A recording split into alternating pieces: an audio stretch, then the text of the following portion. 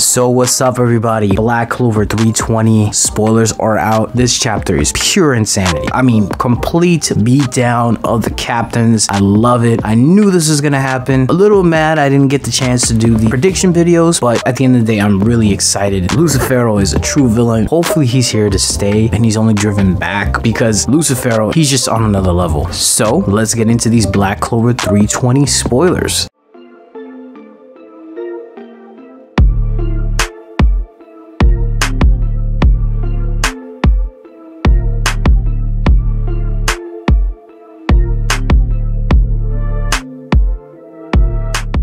First of all, if you like anime manga reviews, discussion spoilers, and theories, definitely hit the subscribe button. If you like the video, like the video. If you want to help the channel out, definitely subscribe, comment, like. Unfortunately, it doesn't look like I'm going to be able to get the original channel back. So moving forward, I'm not going to put any of the manga panels just to not deal with Shueisha. Also, I'm not going to put any of the anime in my videos. So anything that you see on the screen is going to be fan art. If you have any fan art that you would like me to put in the videos, let me know. I'll give you a shout out. I'll definitely give you credit. So starting off with the chapter, I knew this was gonna happen. I'm a little disappointed I wasn't able to actually give you guys the prediction video because I knew Lucifero wasn't gonna get hit hard. He was gonna get his horn cut. I even commented that yesterday, like way before the spoilers were out. This was pretty predictable for me. It's just that there's no way Lucifero was gonna get defeated by Asta that quickly. Some of you guys were saying that his sword might break, and that would have been very interesting if his sword break and they had like a whole little mini arc of Asta getting his sword rebuilt, but it didn't really happen that way. So what exactly happened after Black Clover 319 is that Lucifero literally just dodges, but he dodges on the last second and Asta clips his horn. To me, this is so obvious it was gonna happen. Like Lucifero didn't have enough time to dodge it completely, but he had enough time to dodge it where Asta's attack is not gonna do a fatal or a deadly strike. To me, this made the most sense. Lucifero gets extremely mad that Asta cut off his horn. In some translated texts, Lucifero saying to Asta, everything's happening because of you. If you think about it, Lucifero is only at 50% because of Asta interfering with his manifestation. I'm pretty sure at this point, Asta is like that annoying splinter that you just can't get out to Lucifero. So Lucifero shows his intense dislike that his horn got cut. Asta's using the power of a devil that's way beneath Lucifero who is the king. So of course, a low class devil's power being able to cut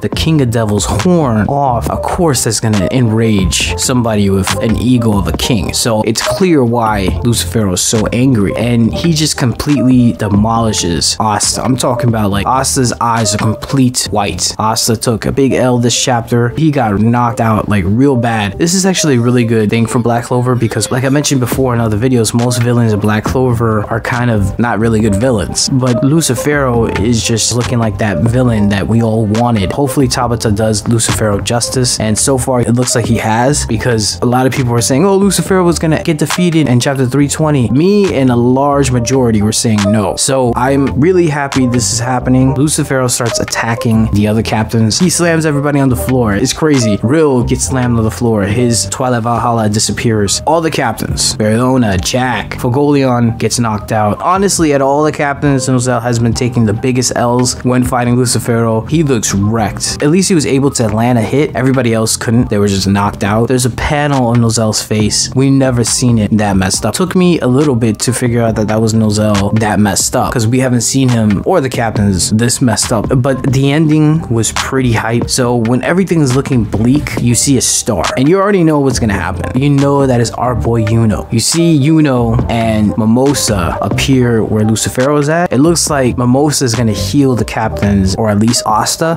Obviously they're gonna start fighting again, but Asta's Devil Union is going to be up, I'm pretty sure. It looks like Yuno is going to fight Lucifero, at least for the meanwhile. Yuno says, I finally saved you. These are the fan translations, so don't take it by heart. Take it with a grain of salt because Yuno did save Asta before, and then Asta saved Yuno again. I believe it was the arc with Mars. This is interesting to see gravity magic versus star magic. Some people have been saying that star magic might get a boost in gravity magic, but it's interesting how we're going going to possibly get a like cosmic battle because if you have a devil that uses gravity magic and a Saint Stage user that uses star magic, that's pretty cosmic. It's interesting, honestly. I did not expect Yuno to come in and start fighting Lucifero. I wonder if Noelle is going to start fighting in because she also has Saint Stage. She might help out Yuno any way possible. I know she can only do it for like a minute, but I wonder if she's able to be of any help. Pretty sure she probably can. One thing I gotta say, like, what's going on with the devil from the second level? When everybody was getting knocked out, he said that, wow, you humans did more than I'd expected, but it was still pointless. It makes me wonder, like, why did he allow Yuno to go where Lucifero's at? To me, that's kind of weird because devil from the second level will kind of appear near where Yuno's at. If you see the chapter where he appeared, that devil appeared near where the Spade Kingdom citizens is, and I'm guessing the resistance. We're talking about Yuno rebuilding the Spade Kingdom and Yuno wasn't feeling it. For him to allow Yuno and Mimosa to go to where Lucifero's at, it kind of shows a little bit of his intent and kind of shows what he believes is going to happen. He probably thinks everything's futile. There's not much they can do, so he'd rather just watch. But also kind of shows that he's a little bit different. Like he's not as loyal to Lucifero as we probably would have think. His loyalty has to do with Lucifero being the strongest and he's afraid versus him actually being loyal to the King of Devils. We kind of already seen that with Megicula, how she tried to escape just herself to the human world. This has probably already been established already, but it's clear that devils do not know loyalty. The only devil has been shown to have somewhat of loyalty is Liebe, but besides him, there's no loyalty with devils. Everything is just for themselves, and they don't question the devil that's a higher rank because they're just stronger. But yeah, that's all I have to say about this chapter. This chapter looks super epic. I can't wait till it's fully translated. I will have a review of chapter 319, 320 together, so be on the lookout for that. Once again, I apologize for not being able to put the prediction videos, but I was going through a lot, especially figuring out that I can't get the original channel back. So like I said before in the beginning, moving forward, no manga panels in the video and no anime clips. Shueisha is a bigger company. I'm a small YouTuber. I'd rather not deal with that. But let me know what you think about this chapter. Let me know what you think about Asta only cutting off Lucifero's horn. Were you expecting that? Did you expected his sword to break? Did you expected Asta to land an actual fatal blow or actually wound him in terms of making Lucifero bleed a lot? Did you like how the captains just get wrecked? How do you feel about Nozel being that messed up in that one panel? If you got to see the spoilers, do you think Yuno is able to withstand Lucifero in terms of going one on one with him